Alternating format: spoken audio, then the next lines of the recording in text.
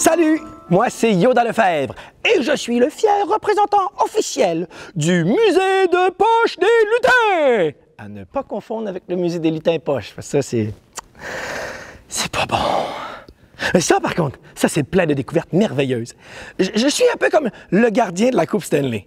Sauf qu'au lieu de garder la Coupe Stanley, je garde des objets qui ont permis à des lutins hors du commun, phénoménaux, de faire des affaires grandioses. C'est comme celui que je vais te présenter aujourd'hui, tu vas voir, c'est un objet qui a l'air de rien. En fait, c'est un objet qui est presque dégoûtant au premier contact. Et pourtant, son histoire est fantastique. Parce qu'aujourd'hui, je te parle de...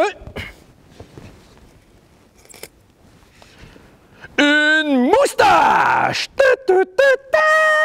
Oui, oui, oui, oui, je sais, je sais, c'est surprenant.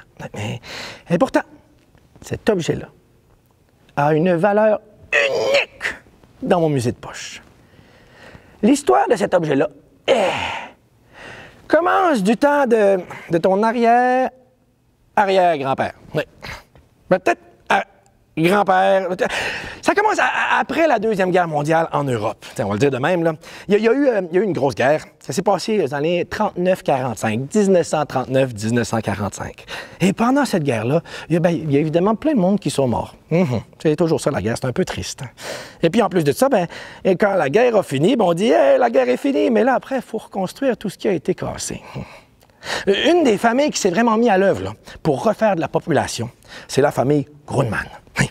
La famille Grunman est reconnue parce que, la mère Grunman, elle a fait une quantité phénoménale d'enfants.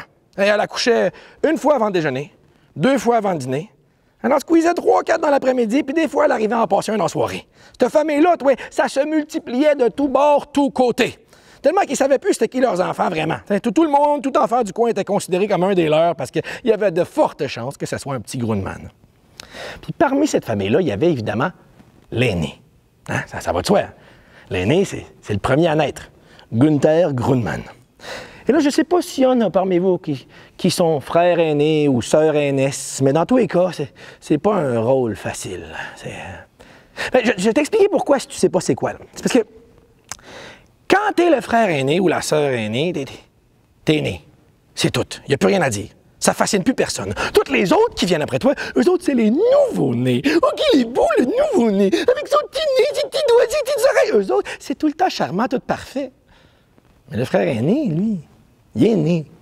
Il n'y a plus rien à dire dessus. C'est lourd. C'est peut-être un peu à cause de ça qu'un matin, en se réveillant, à peu près à 13 ans, Gunther Grunman s'est rendu compte que le Père Noël, il croyait plus. Ça y faisait plus rien. Il se disait même que Noël, c'était tout un plan des adultes pour contrôler les enfants. Oui.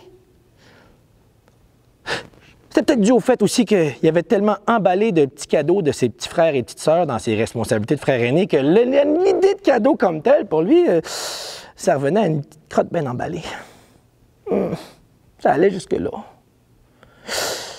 Et puis ça, ça a sonné une alarme au pôle Nord. Ah ben oui, parce que parce qu'au Nord, il y a quelque chose qui alerte quand tout d'un coup la magie s'effondre dans une région. Puis après la guerre, on voulait beaucoup de magie en Europe. On en avait besoin pour reconstruire. Là, si on commençait à plus croire, tout ça allait s'écraser. Fait que le Père Noël, il a envoyé Pelozzi. Pelozzi, c'est un lutin spécialisé dans le fait de ramener la magie. Il est un peu clownesque, hein? C'est, c'est un lutin grande commedia, comme ça que ça s'appelle. Et les grandes commedia, ils peuvent tout transformer en solution, quelle que soit l'ampleur du dame.